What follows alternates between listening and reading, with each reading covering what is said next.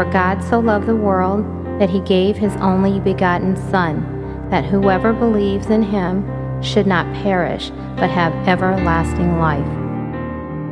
Thank you, God, for as I walk through this journey with my children, help them to understand as they are in high school and going through different trials and tribulations and talk to me less, Lord, but with their friends more, that you came to save them, to protect them, to offer everlasting life. If they would only believe and follow your word.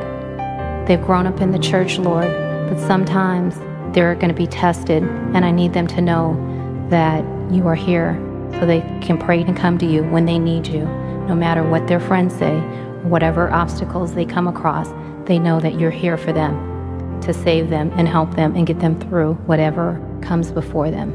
Thank you, Jesus.